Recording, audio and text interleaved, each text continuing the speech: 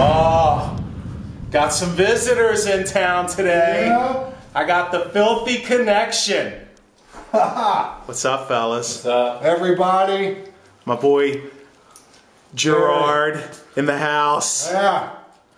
My boy Mike Henninger, the tattooed investor. What's up? Yeah, so we're here. We're here at uh, Hamilton, and I'm showing them what we got going here. We're just about finished this place up. Standing up here in the master bath. Look at this bathroom. Woo! Is that granite? I think it is. Yeah, granite like marble. Oh my! You can't just put a toilet on the wall. You got to put some tile on the wall first and give it that little, you know, got to give it that little panache, that little accent. Little pop. Yeah. So anyway, guys, what do you think? Oh This man. place is unreal. Unbelievable. Yeah. All right. More to come later. We're gonna go uh, get some flavor Later. and uh, heading over to the big Pratt Street Brew House ale thing. Dudes, Dude. What's up?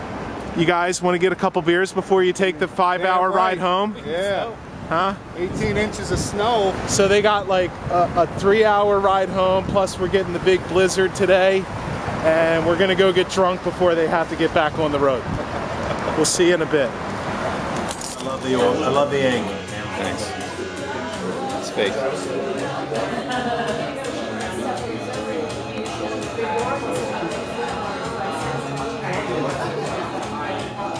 What's up? Hey Mike, that's a lot of empty glasses. Are you ready to drive? I'm absolutely prepared to drive now. Are you sure? Positive. There's a snowstorm out there. Are you sure you're ready? I'm ready. He had 15 beers. It was a lot. Trust me. It's a, the heaviest snowstorm the East Coast has ever seen, and he's hammered, and he's driving a truck that has skids for tires.